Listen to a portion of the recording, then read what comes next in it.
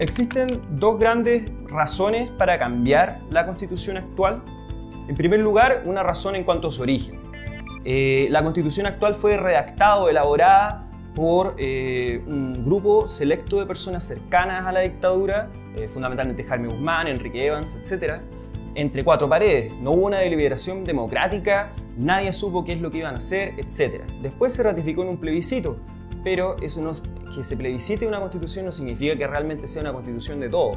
Se ha modificado varias veces la constitución, pero la esencia de la constitución no ha cambiado. Los artículos más problemáticos o los contenidos más difíciles para la sociedad de la constitución no se han cambiado producto de los quórums que tiene.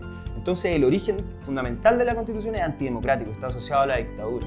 Y por otro lado, eh, hay un tema de fondo. El contenido mismo de la constitución, como ya adelantaba, es complejo. Por ejemplo, se da demasiada primacía a la iniciativa privada, no solamente en materia económica, sino para satisfacer necesidades sociales. Por el principio de subsidiariedad, por ejemplo, eh, el Estado tiene que tomar un rol secundario, no solamente en materia económica, sino en satisfacer cosas como las prestaciones de salud.